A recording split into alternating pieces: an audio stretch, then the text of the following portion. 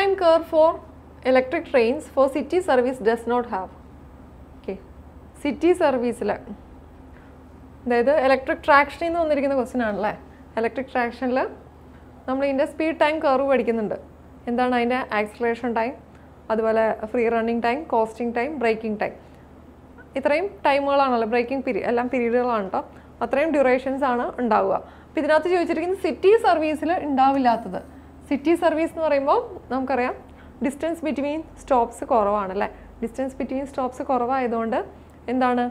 അതിന് free running period എന്ന് പറഞ്ഞ പീരീഡ് ഉണ്ടാവില്ല. അതായത് ഏതാണ്? ഒരു acceleration then free running coasting braking ഇങ്ങനെയാണ് വരിക. ഏത്? ഇത് മെയിൻ ലൈൻ സർവീസിനാണ് വരിക. ഡിസ്റ്റൻസ് ബിറ്റ്വീൻ സ്റ്റോപ്സ് കൂടുതലാണെങ്കിൽ മാത്രമേ വരുള്ളൂ.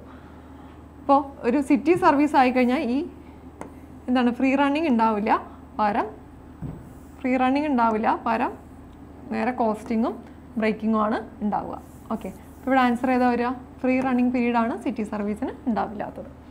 Okay next question while considering train movement crest speed is the crest speed എന്താണെന്നാണ് ചോദിച്ചിരിക്കുന്നത്. ക്രസ്റ്റ് സ്പീഡ് എന്ന് പറഞ്ഞാൽ എന്താ? It is a maximum speed attained by the train during the run okay running ടൈമിൽ ആ ട്രെയിൻ അച്ചീവ് ചെയ്യുന്ന maximum സ്പീഡിനെയാണ് അതിന്റെ ക്രസ്റ്റ് സ്പീഡ് എന്ന് പറയുന്നത്. Okay so answer is option A next one magnetic materials are heated with the help of okay magnetic materials എങ്ങനെയാണ് heat ചെയ്യുന്നത് എന്നുള്ളത്. എങ്ങനെയാണ് ഹീറ്റ് ചെയ്യുന്നത്? നമ്മൾ ഹിസ്റ്റീസിസ് ലോസ് വഴി അല്ലേ? ഹിസ്റ്റീസിസ് കർവൊക്കെ പഠിക്കുമ്പോൾ തന്നെ നമ്മളത് പറയുന്നുണ്ട് അല്ലേ? ഇതെന്ന് പറഞ്ഞാൽ എന്താ? ഇത് എനർജി ഡിസിപ്പേഷൻ ആണല്ലേ എനർജി ഡിസിപ്പേഷൻ ആണ് ഇത് ബി എച്ച് കർവാണ് ബി എച്ച് കർവാണ് അത് എനർജി ഡിസിപ്പേഷനാണ് ഈ ഏരിയ തരിക.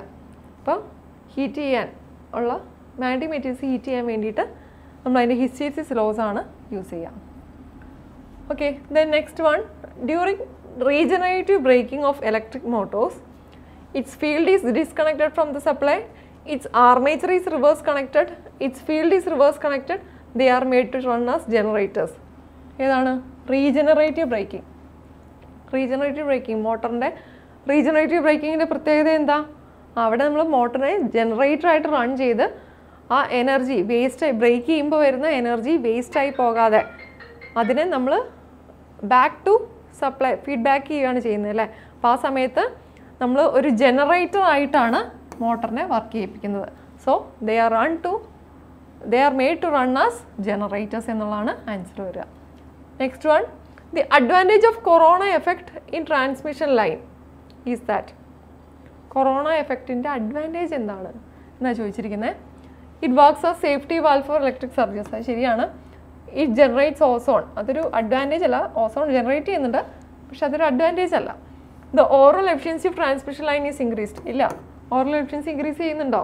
ഇല്ല. അവിടെ കൊറോണ ലോസ് ഉണ്ടാവുന്നുണ്ടല്ലേ കൊറോണ ലോസ് ആണ് ഉണ്ടാവുന്നത്. Then makes line current sinusoidal ഇല്ല ലൈൻ കറണ്ടുമായിട്ട് യാതൊരു ബന്ധവും കൊറോണ ലോസിനില്ല പിന്നെ ആൻസർ വരെ ഏതാണ്? It works as a safety valve for electric surges കാരണം കൊറോണ എന്ന് പറയുന്നത് എന്താ?